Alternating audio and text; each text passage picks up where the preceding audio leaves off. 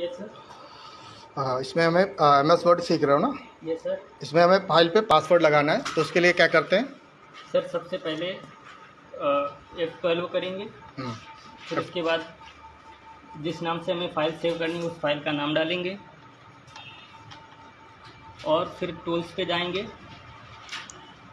हाँ टूल्स पे क्लिक करेंगे फिर? उसके बाद जनरल ऑप्शन पे क्लिक करेंगे। हाँ। उसके बाद यहाँ पे पासवर्ड ओपन वाला पासवर्ड पहले डालेंगे। हम्म, उसके बाद पासवर्ड मॉडिफाई डालेंगे। उसके बाद ओके पे क्लिक कर देंगे। फिर यहाँ पे री री एंटर पासवर्ड करेंगे। हाँ। उसके बाद फिर से ओके कर देंगे। उसके बाद ये मॉडिफाई वाला री एंटर करेंगे। उसके बाद इसे भी ओके कर देंगे। इसके बाद सेव पे? सेव पे क्लिक कर देंगे हमारी। फ़ाइल सेव सेव हो जाएगी। अब इसको देखना है ना दिखाना है तो इसको पहले कैसे बंद करते हैं? सबसे पहले कंट्रोल डब्ल्यू कर देंगे। हम्म, उसके बाद कंट्रोल ओ करेंगे।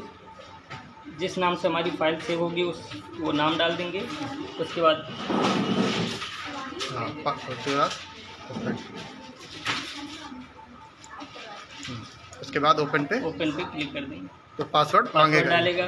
पासवर्ड मांगेगा। ना? हाँ वन टू थ्री एंटर कर फिर इसके बाद मॉडिफाई वाला पासवर्ड एंटर कर